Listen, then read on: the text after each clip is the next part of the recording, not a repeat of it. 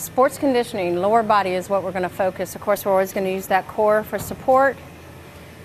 Quick, explosive, dynamic movement.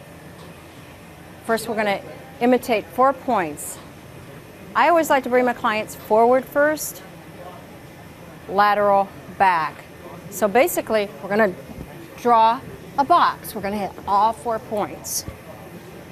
Fire this way, side. Knees got to stay in line. It's a hinge joint.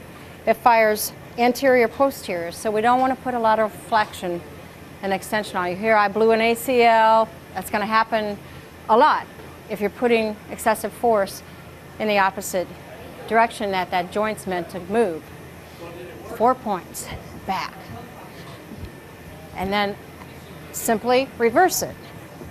Now you can get quick with this. You can go slow, you can get explosive, stop, stick it, stick it, back up. And as soon as you can, switch directions. The more you can keep that cross crawl mechanism firing from the central nervous system, the better.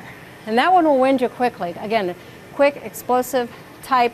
I like to come forward first and then back.